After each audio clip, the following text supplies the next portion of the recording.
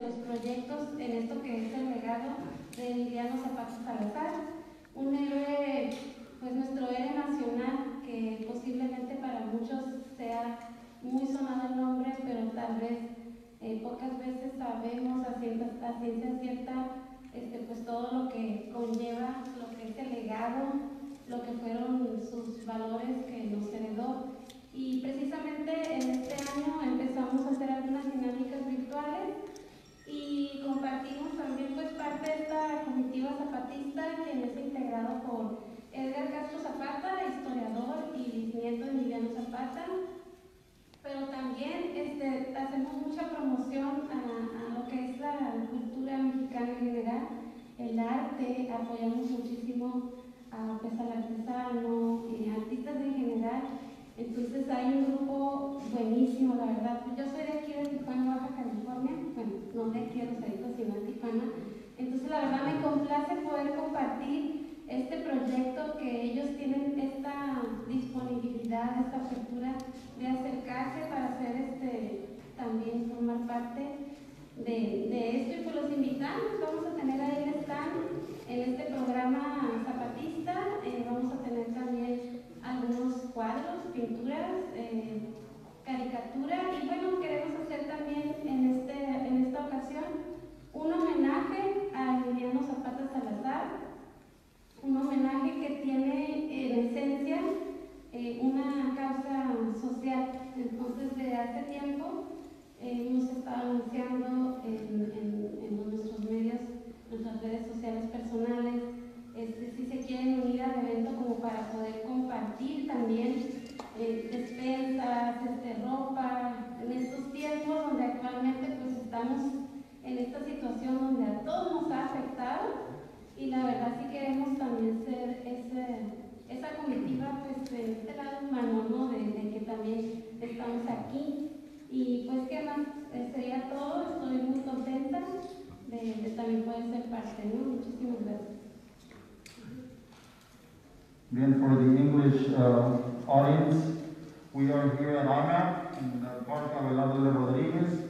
I'm here with the president of the Committee of Tourism. I'm here with Ingeniero Lechuga, main organizer, Sara Gonzalez, the representative of uh, Emiliano Zapata's uh, great-grandson, who is coming to Rosarito to present his book. Uh, the event is Expo Tequila 2020, and we are having it here at the park downtown from the 19th to the 22nd of November, which is this week. So everybody out there, if you guys want to check out some cool uh, brands of tequila, if you guys want to, you know, learn more about the Mexican culture and revolution, we're going to have a special band come from Morelos State, and we're going to have uh, Emiliano Zapata's great-grandson uh, come out here and present his book, which is the iconography of the 100 years of uh, Mr. Uh, General Zapata.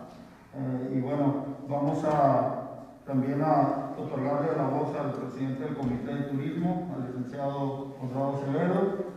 Eh, estamos muy agradecidos con la alcaldesa y con, los medios y sobre todo con el Comité de Turismo, que es el que se encarga de proyectar a Rosarito al resto del mundo y que ha estado haciendo un excelente trabajo en, pues, en dar esa imagen positiva de Playas de Rosarito. Sabemos que Playas de Rosarito es una ciudad muy diversa, es multifacética y pues bueno, qué, qué mejor lugar para llevar este evento frente al mar. ¿no?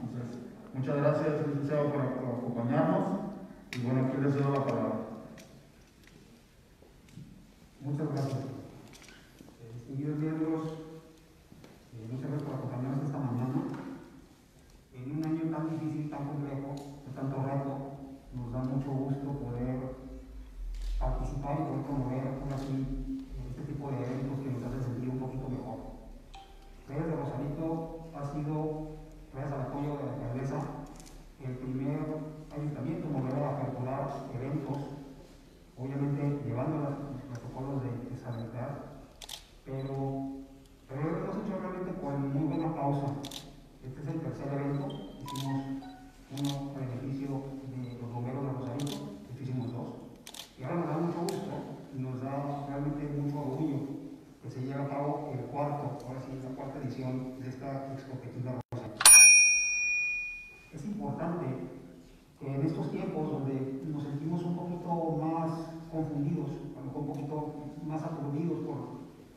tema de la pandemia, tengamos ocasión al menos de juntarnos y festejar primero que nada nuestra mexicanidad, que bueno que también nos toque pues también degustar de estos, de estos tequilas, de este gran producto mexicano.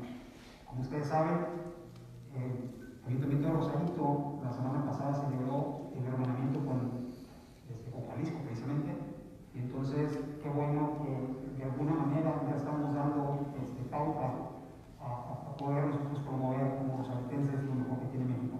De nuevo, muchas gracias por acompañarnos, los esperamos a partir del día jueves al domingo, de la 1 de la tarde a las 10 de la noche, aquí en el parque. Esperemos contar con la asistencia de todos ustedes. Muchas gracias. ¿Alguna pregunta? ¿Cuál va a ser la mecánica para que la gente pueda participar? ¿Alguna pregunta? La primera pregunta. Sí, mire, el Parque Abelardo L. Rodríguez pues es un área pública, ¿verdad? En donde pues vamos a, ya estamos haciendo el montaje correspondiente para las casas tequileras. Contaremos con un pabellón artesanal, con área gastronómica y, y también con el stand precisamente para la promoción de, del libro Iconos, eh, eh, Iconografía de Emiliano Zapata. Eh, la mecánica va a ser la siguiente, el, el, pues, el, visitante va a poder ingresar, ¿verdad?, con cubreboca, eh, este, eh, estamos pidiendo por favor el uso de cubreboca en las áreas comunes, en conjunto con el IMAC, este, porque va, bueno, pues vamos en conjunto precisamente con, con el IMAC y, y agradezco mucho el momento para agradecer al director de, de, esta alianza que llevamos a cabo. Vamos a, a, comercializar un brazalete en el que el adulto, un brazalete con un costo de 60 pesos, eh, este, en el que el adulto va a poder entrar a las salas de degustación. A cada casa tequilera le vamos a poner una sala de degustación. Entonces, en los pasillos comunes el visitante tendrá que usar cubreboca. En la sala de degustación va a haber una mesa sanitizada para cuatro personas exclusivamente. El tequilero en orden va a ir pasando a los visitantes que quieran probar el tequila y que hayan adquirido el brazalete para la degustación. Este es un evento en el que el brazalete únicamente se le comercializa, obviamente, a los adultos, únicamente, ¿verdad? Y, y bueno, pues eh, eh, este, obviamente que el programa artístico, pues este, el consumo de los alimentos, pues ya es eh, por cuenta del visitante, ¿verdad?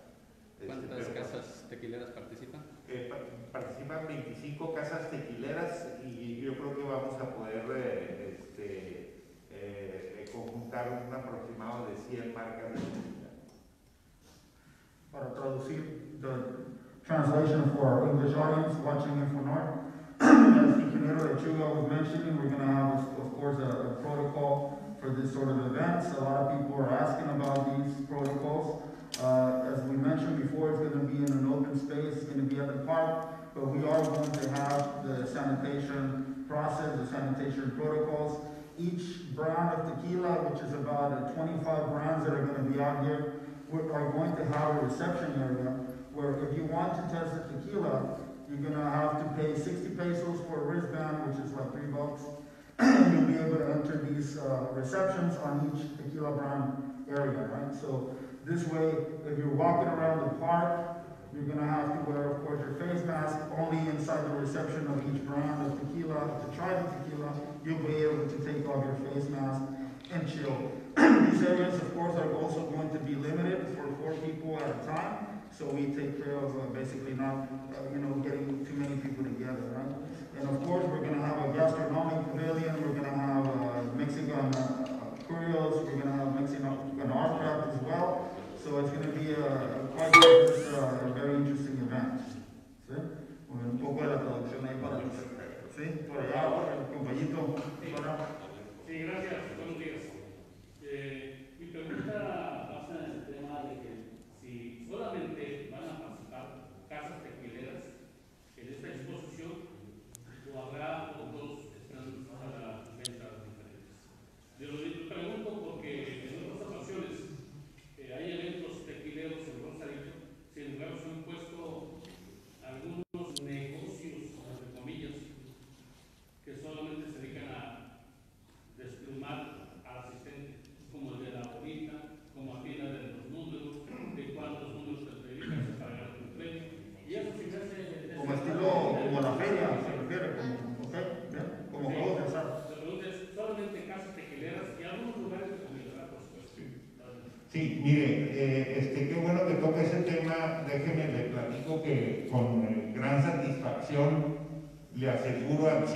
Que nosotros no recibimos eh, ese tipo de expositores.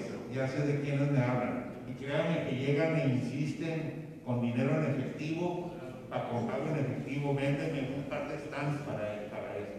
Nosotros no, no, no lo permitimos, no lo permitimos. Tendremos las casas tequileras los puestos gastronómicos, también este, el IMAC está participando con puestos que básicamente son gastronómicos, ¿verdad? Este, lo de la presentación de la iconografía de Emiliano Zapata y, y, unos puestos de artesanía. Es todo. Es todo, pero sí, nosotros no recibimos ese tipo de expositores. Son más de, la, de tipo feria, Así es. Una de las intenciones aquí de hacerlo precisamente en el parque fue por, por esa cuestión, ¿no? Queremos darle eh, un espacio de esparcimiento al ciudadano, al visitante de Rosarito, eh, que se lleve una experiencia sin tener que pagar un alto costo, sin tener que cubrir un, boleto de alto precio, entendiendo pues la economía como está ahorita, lo que necesitamos más es actividad de esparcimiento antes de, buscar lucrar o, como lo comentó, desplumar al visitante, no, al contrario, aquí lo que queremos es nutrir al visitante, brindarle un espacio gratuito, obviamente tiene un costo si es que van a degustar, si no, es, un espacio donde pueden venir y visitarlo con, toda confianza. Y disfrutar del programa artístico que está muy bonito, ¿eh? Gracias. Eh, que es a partir del 19, al 22 de noviembre. Así es. ¿A qué hora va a ser esta inauguración? el jueves a las 3 de la tarde. Los invitamos por favor para que nos acompañen a la inauguración y al recorrido de los expositores de las casas tequileras. Jueves invitamos 3 de la tarde y ya de ahí nos vamos del viernes, sábado y domingo de la 1 de la tarde en adelante.